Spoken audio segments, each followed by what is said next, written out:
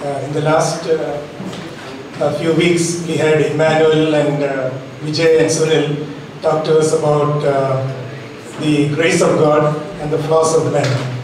And we saw how flawed men like um, like Jacob, you know, who was a cheat, but then uh, God made him father of, um, uh, made him into a nation. And we saw Judah, who also, uh, it was not his righteousness uh, God chose him to be, uh, be the line for uh, Jesus. So we see that how uh, God took flawed men. Can you?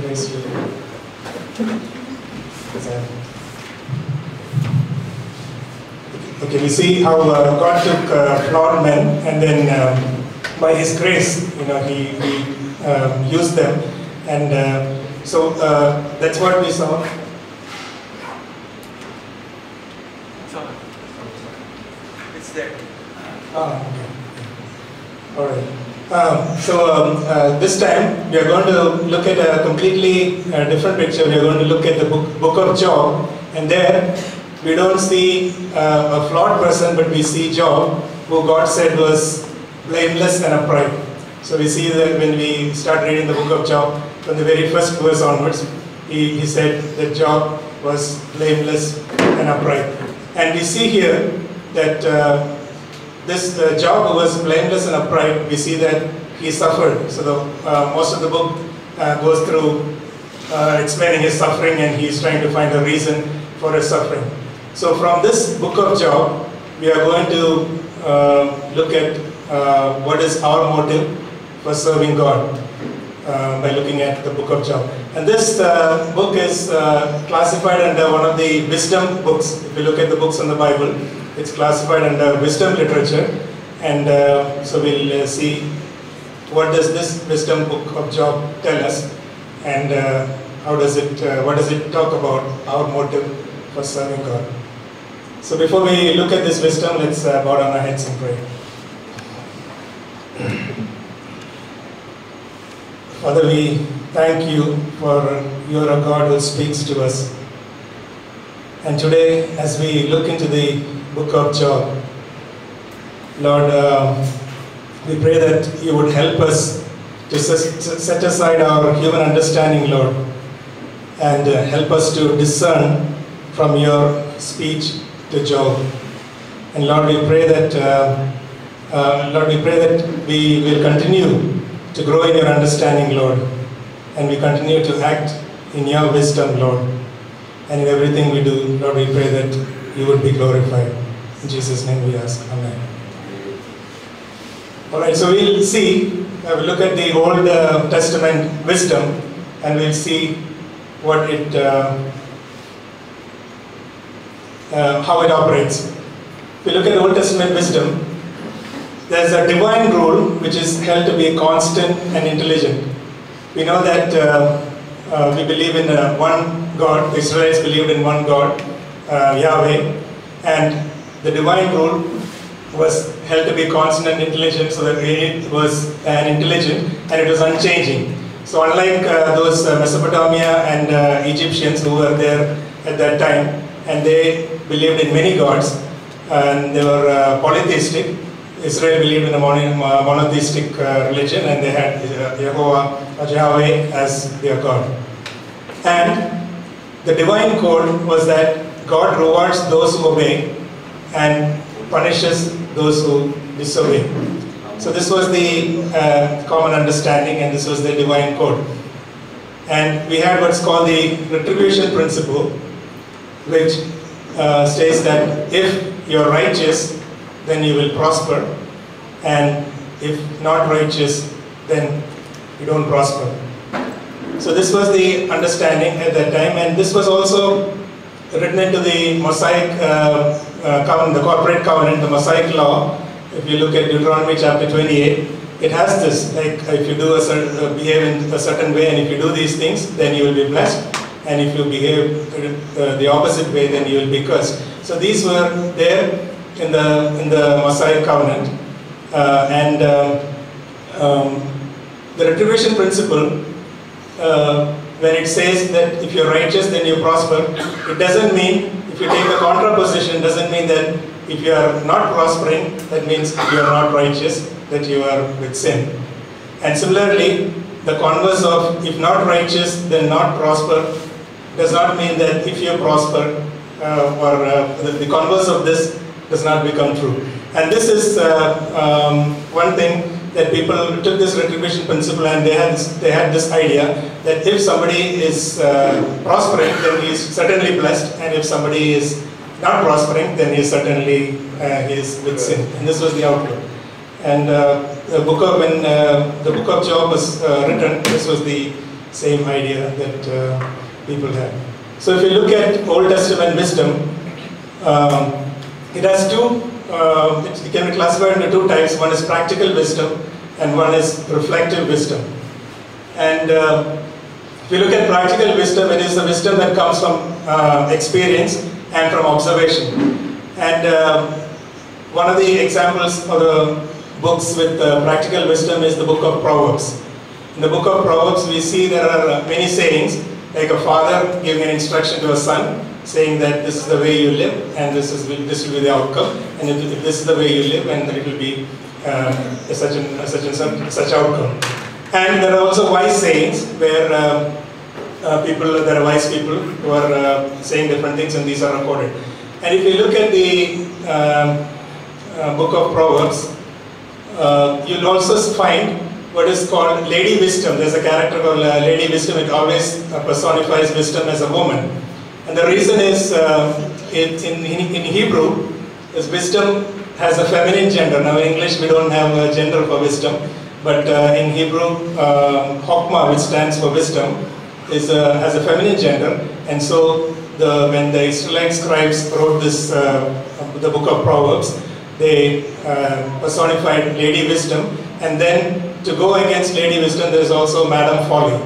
So there are two ladies who are, there's Lady Wisdom who proclaims, who those who come to me, and I will show you the right path. And then there's Madam Folly, ready to foil the plans of the of God, and uh, was always there to send people along a different path. So you see, there are two paths, and uh, the book of Proverbs tells them, tells us, or reminds us to walk on one particular path, um, which is righteous, and if you go on the other path, then you would be, uh, that, that's a path that's leading to death. Uh, and if you look at uh, the Proverbs, these are not sayings which uh, originated from Israelite people. These were there at the time. The, um, uh, the sages at that time, uh, they had these sayings, so this, this was something which people had. The wisdom did not just uh, arise among the Israelite people. Wisdom was there in the beginning when God created you know, um, different things during His creation he created things in his wisdom, in God's wisdom. So wisdom was there from the beginning, and uh, all the sages had this wisdom. And by just by uh, observation, people took these, uh, and uh, when the Israelite scribes found these, and they aligned, they took the sayings which aligned with the uh, word of God or with the will of God, and then they um, uh, actually collated that into what is called the book of Proverbs. And that's what we have here. That's practical wisdom. And it is a wisdom for skillful living, which we can uh, use um, um, as, we, as, as and when we need it. Uh, and uh, then you have what is called reflective wisdom. And this, uh, the book of Job is an example of that. And here, you have, uh, there's a narrative, there's a story, and uh, it actually, if you read through that, and if you go through the book of Job and look through his suffering, then it helps us to understand and reflect and find out why certain things are happening. Sometimes you don't even get an answer. For example, in the book of Job, why do people suffer? And you read the whole book and God tells them what he wants uh, his uh, people to know, but he, doesn't give an answer for why suffering happens. So this is reflective wisdom. So we are going to look at the book of Job, which is a book on reflective wisdom. So we'll see, uh, look at the story of Job and uh, quickly I've uh, just kind of concised it. And uh, Job, he lived in the land of Uz, and uh, the very first uh, verse in the first chapter says he was blameless and upright, and he feared God, and he shunned evil. And it also says that he was very rich. So there's a description of how um, you know, the, the number of sheep he had, and the number of donkeys, the cattle, and the camels he had. So this was uh, during his time. This was how uh, the wealth was uh, measured: the number of donkeys, the number of camels, and uh, the number of cattle that you had. And also, he had a family, and he had uh, sons and daughters, and he, so he had a good family.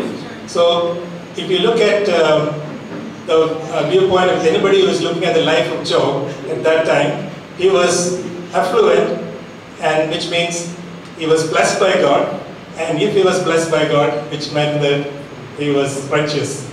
So that was the outlook that uh, people had. So and, and he was um, blameless and upright, not only in the eyes of men, but also in the eyes of God, because we read as we come down um, when uh, Satan, after roaming around the world, and uh, you know what, what Satan does is he roams around the world and tries to uh, create trouble. You know that is his, uh, I mean that is his hobby. So he goes around doing this, and then he comes to the presence of God, and he uh, and God uh, senses you know what Satan is trying to do, and he says, "Have you seen my servant Job? And he is blameless and upright. He fears God, and he shuns evil." And uh, so God brings this up, and Satan says, Satan replied, Does Job fear God for nothing? So Satan is saying that you have put a hedge around uh, Job and his family, and you are protecting him, and you have prospered him, and the only reason he is uh, worshipping you or that he, he is not cursing you, that he is uh, praising you and he is standing along with you, the only reason he, does, he is doing that because he is prosperous. So now he is looking at the retribution principle and he's taking it and looking at the uh, in uh, the converse of it, where he's saying that the only reason Job is righteous is because of the goodness with which you have treated him. And God um, allows Satan, so Satan says, let me try to harm his family and then let's, let, let us see how what he does. He's certainly going to curse God.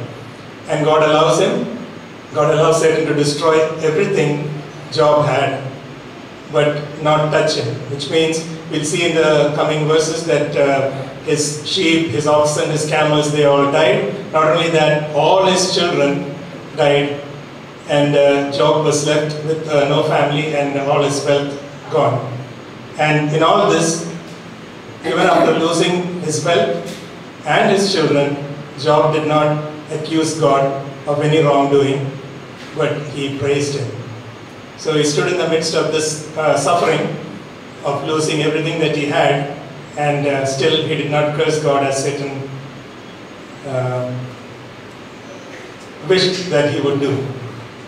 Now, uh, next uh, chapter we see that Job is afflicted again, and this time uh, Satan again meets God, and then he tells God that certainly if you touch his life, if you take away a man's life, then he is going to curse, uh, curse, God.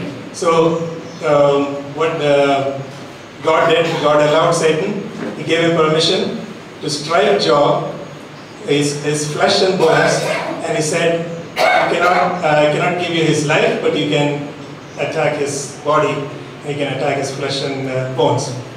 And uh, what happened is, painful sores broke out on his body. So Satan always brings misery. We can see that it's not God who brings misery, but it is Satan who is bringing all this misery. So he, he uh, was afflicted with painful sores, which broke out on his body. And even his wife asked him to curse God and die. So when he was in this hopeless state, um, his, uh, even his wife said, Why are you holding on to this God? But uh, Job treasured his relationship with God and he held on to God. And uh, his wife said, Why don't you curse him and uh, die? And what we see here is God did not give Satan a clamp upon Job's will. And this is what uh, God does. We may have suffering, we may, uh, we may have prosperity, we may have suffering, but our free will is something which God doesn't uh, take away because uh, and we can we see that he did not give a Satan a clamp upon Job's will, and this is uh, true with us also because we when we heard the gospel we have the free will. God has given us a choice to accept Him. He does not uh, he does not condemn anyone or he doesn't uh, uh, I'm not going to go into subject of predestination and all that, but it doesn't mean that you know it is certain people are you know God is God in His foreknowledge knows who is going to come to Him. That is what it means. But the thing is, everyone has a free will, and what Christ did is He died for all of mankind, and whoever accepts Jesus as his Lord and Savior can um, he gets he has life. And uh, so God does not give Satan a clamp upon Job's will. And sometimes we can ask this question: Why is this? Why are there wars? Why are there catastrophes? You know, that's because people uh, there are forces of evil who uh, make people do these things. Um, and Satan's job is to the thief comes to kill, uh, steal, kill, and destroy, and that's what he does. And uh, so we, we may say, why doesn't God, God control this? Why can't uh, God is omnipotent? Why can't He just control wars and uh, catastrophes?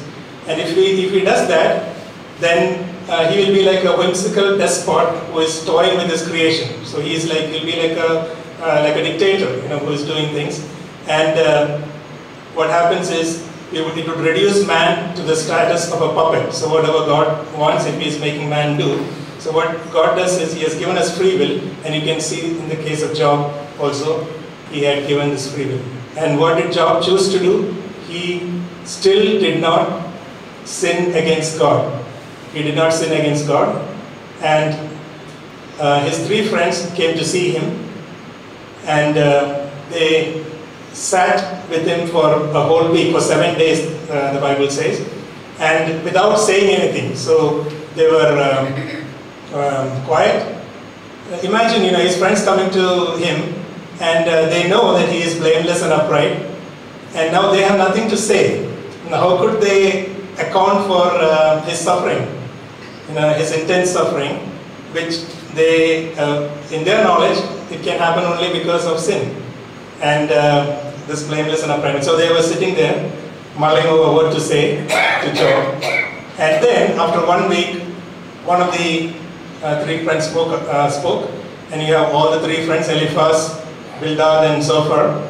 They took turns, and they again used this traditional wisdom which they had from retribution principle, and they um, started telling him that the righteous is never going to suffer, and the unrighteous always does. And they, if you look at uh, Job uh, chapter 4, verse 7, it says, When has the innocent ever perished? So they are questioning that and they are uh, insisting and they, they started off slowly and then they bring the discourse. They keep on harping on this same thing over and over again and you see there are conversation which goes from Eliphaz, Job replies, then uh, Bildad and Job replies and so Zophar, Job replies. Again it goes on and again a third time and uh, by this time Job is exhausted because eyes of God and um, he uh, refutes claiming his innocence. So Job says, I am innocent, I am not uh. He examines himself, and uh, as God claims, he is blameless and upright. So he doesn't uh, feel that his suffering is justified. So what he's trying to do next, as we see through the, through the discourses, is that um, uh, Job tries to plead his case. He says to the uh, uh, says to Yahweh, I have prepared a case and if you just come and uh, I long to see you, and if I see you, then uh, I can plead my case and I can prove my innocence. So he is looking for vindication of something, saying uh, of uh, things which he has not done, and he wants to uh, prove that this suffering is unjustified. And also with overtones of self-righteousness. He lists out several things that he has done and how he is right in everything that he has done. And you can see um, different verses which uh, actually talks about how he says that I am righteous because I've done this, this, this. And as he is uh, going through his discourses, we don't just see his um, uh, agony and his suffering and then his uh, reasoning as to why this unjust suffering. But at the same time, he also longs for Yahweh's presence, which he enjoyed in the past. So we can see that he is uh, actually uh, longing for the Yahweh who had preserved him all along, all this time. And then uh, Yahweh who had shown his light in his path so that he, could, he didn't have to walk in darkness. He recalls the fellowship he had with uh, God in the youth. And he also um, recalls the divine assurance that he had with uh, God and the comfort of his family and children. He recalls his abundance and riches that he had, and uh, that was a stamp of God's presence in his life. And not only in his house, but also out in the streets and in the city, there too, he had respect among the people. So uh, you see that Job is uh, longing for that presence, that uh, divine presence which he had, which, uh, uh, which he had all these years, and which now uh, that God has withdrawn from him. People, these same people are mocking him. So the tables have turned, and he is longing for that presence.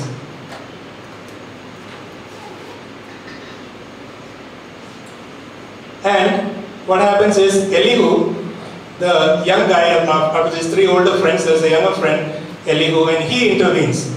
Now he does not go and, um, so when these people have come to give Job comfort in his time of suffering, uh, Elihu intervenes and he doesn't uh, talk about uh, Job's sin, but he says that you are unjust in, uh, I mean, do not uh, find uh, fault with God, do not care, call him uncaring and do not call him unjust. He says God is indeed is caring and uh, God is not unjust, He is a just God and He does not reward people based on what they do, but He rewards them on the basis of love and grace. And as we heard in our earlier uh, um, previous uh, sermons on uh, the grace of God, where uh, people who are unrighteous also receive grace, and, and in plenty, we'll see that Elihu also uh, consoles Job, saying that your rewards, God is going to reward you on the basis of His love and grace.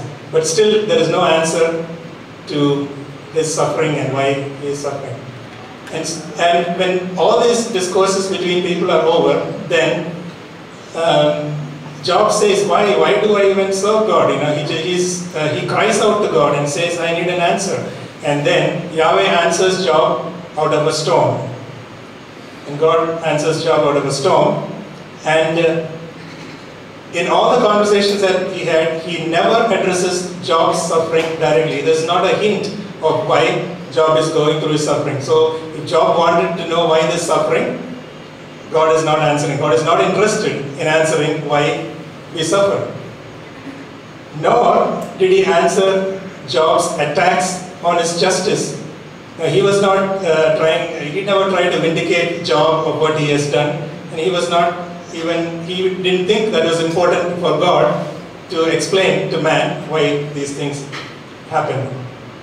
But God, what, he, what God does is He presents His creation in all its power and beauty and drawing Job to God's majesty. So uh, we see that uh, God talks about His creation, He talks about uh, the earth, He talks about the sea, He talks about the vast expanse, He talks about uh, darkness and light, He talks about the snow, hail, rain, and how He forms the clouds and how it rains. He talks about constellations, and He shows that all, all the majesty of His creation. And He's asked Job, Did you create all this? So He is. Um, all his uh, all God all God wanted Job to know that is that you look at me in all my majesty and then being surrounded by mysteries that Job cannot fathom he is inadequate to question God. He's saying you are your knowledge is so limited you are so inconsequential. He's, he says you are a puny little guy compared to this greatness of my majesty. Yeah, if you uh, look in Hindi, you know, we'll, uh, we'll say, uh, in Hindi movies they say, Teri aukat kya hai, you know. So it's like, you know, how, how dare you, you know, what is your, what audacity you have to stand in front of me. And I remember the song which we sang, uh, you know, where we say, Asman se bhi uncha and tere vichar, sagar ke red se jada, yeah, right. So more than the sands of the sea, that's how big your thoughts are. And God is saying, look at me in all my majesty, and you, who are uh, such a puny little guy, you are saying that you are teaching me and uh, you are giving me counsel about how I, I should be a just God. And not only that, God asks, who made the animals and controls them? And he talks about, um, you know, the feeding the animals and the birds. He talks about uh, the birth of the young. Uh, he talks about the freedom of the wild donkeys and the, the defiance of the wild ox, the stupidity of the ostrich, and then he talks about the might of the war horse and the flight of the eagle and the hawk. So he lists all of these out and he says who created them and who controls them. He says it is I who does it and not you. And on top of that, he talks about these big creatures and there's a half a chapter on Behemoth and there's a full chapter, chapter 41 on Leviathan and these are monsters and he says, can, uh, who tames these monsters? Can man tame, this, tame these monsters?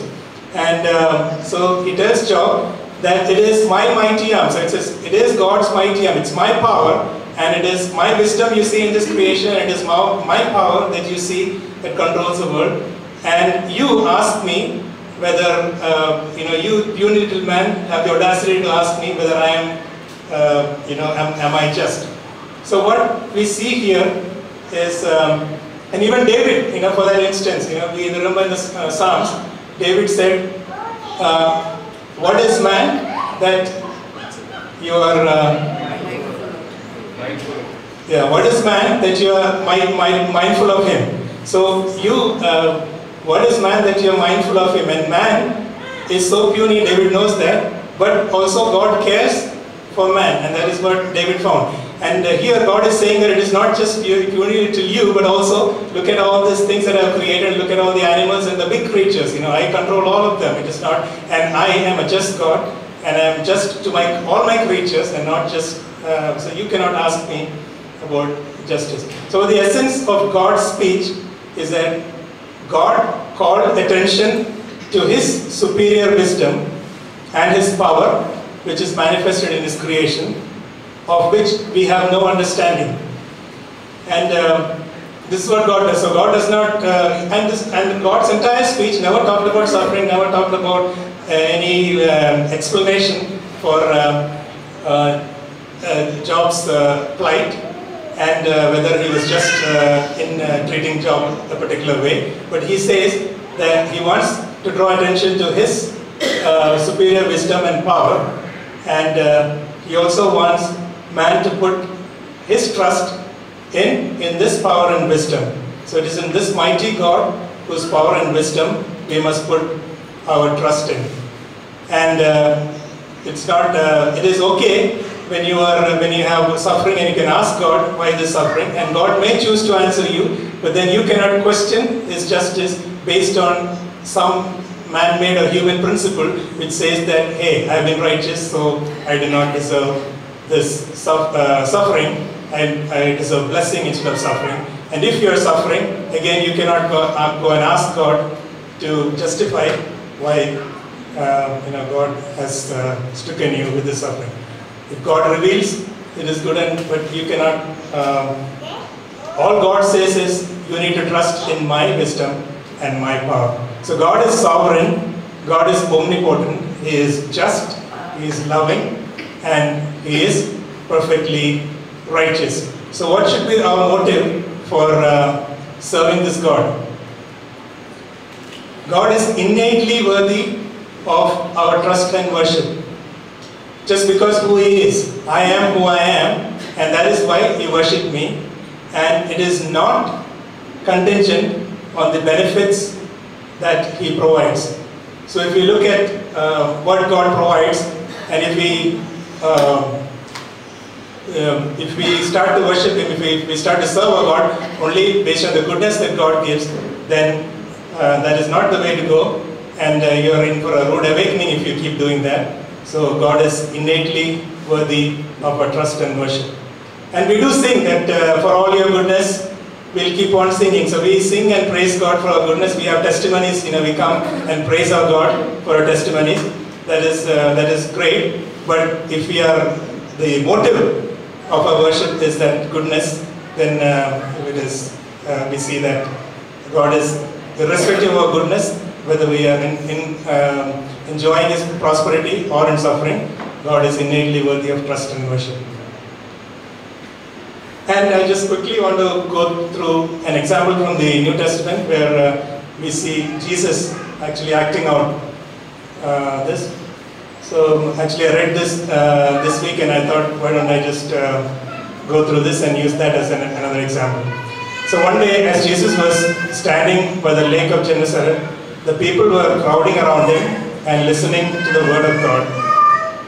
He saw at the water's edge two boats left there by the fishermen who were washing their nets. He got into one of the boats, the one belonging to Simon, and asked him to put out a little from the shore. Then he sat down and taught the people from the boat. When he had finished speaking, he said to Simon, Put out into deep water and let down the nets for a catch. And if you look at what happened, Simon answered, Master, we have worked hard all night and haven't caught anything, but because you say so, I will let down the nets. And when they had done so, they caught such a large number of fish that the nets began to break. So we'll uh, see that uh, the, I mean, they had tried all night and there was no fish there, and then Jesus tells him to do this, and then Simon, uh, they cast their nets and then they catch fish in such large quantities that the nets began to break. So they signaled their partners in the other boats to come and help them, and they came and filled both boats so full that they began to sink. So they had such a big catch, there was abundance of fish, whereas there was none um, the, the whole night when they were fishing. And when Simon Peter saw this, he fell at Jesus' knees and said, Go away from me, Lord, I am a sinful man. So here again, we see that uh, what made uh, Simon Peter say this? You know, he says, what was he um, astonished by? He was he saw Jesus in all his majesty. If you, uh, he was struck by the sense of the power of Christ. So that power again, uh, as we, as uh, Yahweh uh, reveals himself to Job, and he talks about, describes all his power, and Peter actually witnessed this. He saw the power of Christ and the greatness of his majesty, where uh, Yahweh explained all the majesty of his creation. The, Peter just saw this in front of him, and then he was conscious of his unworthiness. Just like God said to Job, You are a puny little guy, and who are you to ask me this question? Similarly, uh, uh, Peter saw this, saw that uh, he, he was aware of his, he was conscious of his unworthiness to stand in the presence of Jesus. And uh, we see how uh, all it needs is to, uh, for us to follow God, is to see His majesty and uh, His power.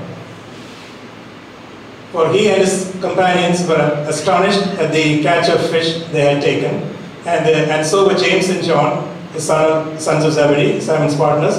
Then Jesus said to Simon, Don't be afraid, from now on you will fish for people. And so they pulled their boats up on the shore, left everything, and followed him. So, what is the motive to um, serve God? What is the, the what is Simon's motive in uh, following Jesus? Was it because of the good catch of fish and said, "Oh, if I keep following Jesus every day, I will get a boat full of fish"? So, was he uh, looking at the benefits of following Jesus as a goodness, or did he follow Jesus because looking at seeing His majesty and His power? And that is what uh, mm, uh, the book of Job tells us. The, the motive for our worship should be uh, who God is and not the goodness that uh, He brings. So then I have to touch upon this unexplained suffering uh, that uh, Job went through, and also when we go through times of uh, this unexplained suffering, how are we going to reorient ourselves? And Job did not get an answer for his suffering. The reason is we are living in a fallen world, and uh, it is actually operated by a rule of a fallen being, and it is only a relationship with God uh, it's only by a relationship with God that this fallen humanity, uh, this fallen humanity can find uh, any sense of meaning or purpose in the among the injustices of this world. So there is injustice in the world, there is unjust suffering, but it's only a personal relationship with God which will uh, give you, which uh, can uh, give you a meaning and purpose when you are within operating in this unjust world. And so Job did not get an answer for our suffering, but we know that um, there is going to be suffering. Christ said that he is going to suffer, and Christ also said that on account of me you will suffer. So there is going to be suffering, and uh, it has been granted to you on behalf of Christ not only to believe in him but also suffer for him. So any suffering that comes which is unexplained, uh, we know that uh, God knows. We know that here Job did not know why he was suffering, but God knew that it was um, you know an arrangement between him and Satan where God knew uh, from the from the beginning, from the outset that Job is blameless and upright, and he let Satan do that to, uh, so that Satan could uh, you know to show that Job is not going to curse God, come what may. And similarly, we have to stand firm in our in uh, in our unjust suffering. And um, again, Paul to the Philippians writes, "I want to know Christ, yes, to know the power of His resurrection and participation in the sufferings, becoming like Him in His death." And this uh, in Philippians chapter three, verse ten. So we are sharers in Christ's sufferings, and uh, so it is not. Um, there's not going to be prosperity every time. There are going to be times when we suffer, but we we know that we have a mighty God. We have a God in His majesty. We put our trust in His wisdom and in His power and in this God, and that's all we need. So whether in prosperity or suffering, we have to treasure our relationship with God and trust in His wisdom and power. Now I found something um, from in the book of Job, which also gives you how to endure suffering. Now, this made me uh, wonder because this is actually um, we say um, the book of Job is a wisdom book. Now, it's also prophetic in the sense. Look at this. It says uh, in Job chapter 19, it says, "I know my Redeemer lives, and that in the end he will stand on the earth." So Job, and at at that time the mystery hidden in Christ was not revealed. Job uh, makes a statement, there's a statement there in the book of Job, chapter 19, where Job is having his discourse. And we can see that Christ suffered for us to take our sins away, and uh, he cleanses us us with his blood. And he is seated at the right hand of God, interceding for us. And he is our Redeemer who has reconciled us to God. And with this firm belief and hope, we can uh, reorient ourselves, knowing that in all the hardships, we are more than conquerors through Him who loves us. And uh, the next verse also says, "After and after my skin has been destroyed, yet in my flesh I will see God." Again, prophetic, uh, what was to come, and um, we have this great hope uh, because we know that Jesus died and rose again. And so we know that when the Lord comes down from heaven in all his splendor, those dead in Christ will rise first, and tho- those still alive will follow. And this is what uh, Paul's letter to the Thessalonians um, says. So we have this great hope, and uh, we can endure our suffering because God has given us this hope. And meanwhile, we are going to rejoice in the assurance of meeting the Lord and be with the Lord forever. So, uh, if you uh, if we stand firm, and Paul says, when you think you're fir- standing firm, stand firm, so that you don't put your hope in anything. Now, Satan wanted Job to curse God, and then what the next option would have been to look elsewhere for any kind of healing or any kind of answer to his problem. But Job stood with God, and one thing commendable, was that even though Job cursed himself, he said he cursed the day of his birth. He even uh, started to question God about his injustice, but all along he longed for God's presence and uh, he wanted to be restored to those days when God preserved his life. So we see that Job had that relationship with God, and uh, so uh, he did not uh, lose his hope, even though in that hopeless state where he, he suffered, uh, he was reduced to nothing, he did not curse God. And we live in, a, in awe of our everlasting God, praising and worshipping Him Um, and that's what we can do because, again, in all His majesty, and that's what we do here uh, when we come for uh, worship. We praise Him, uh, we worship Him in His uh, all His majesty, and at the same time, we encourage each other in our uh, in, in our sufferings, and also we, pr- we pray for one another. And this is what we do. But God, what uh, the Book of Job teaches us, or one of the aspects it teaches us, is that our motive for worshiping God must be because who He is, the great God He is, and has nothing to do with the benefits that we receive. Thank you.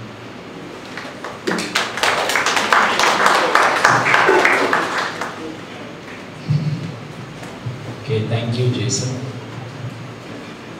Um, I think Jason has covered something that is that is very important. Uh, because at the end of it, the only thing that God really judges is motive, right? Actions are not as important as what God. God looks at the heart.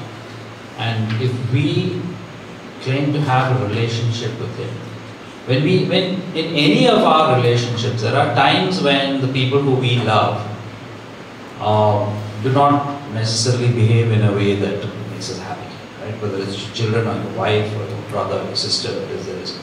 But that relationship is built on love because we know who that person is. We love that person for who he is, not necessarily the way he behaves at that particular, he or she behaves at that time. And this is something that we need to keep in our hearts, in our relationship with God as, well, that we have an almighty God who we serve, even when we don't understand, we believe that His Lord, that, that His, His love is unchanging and that He is a just and good God. Can we pray? Lord, we want to thank you for this time. We thank you for the word that we have heard, Lord, and we pray that it will draw us closer to you to help us to understand more of who you are, even though we know that you are beyond our comprehension. And uh, this afternoon, Lord, as we gather together for, for the food, we ask that you will bless it, that it be strength to us.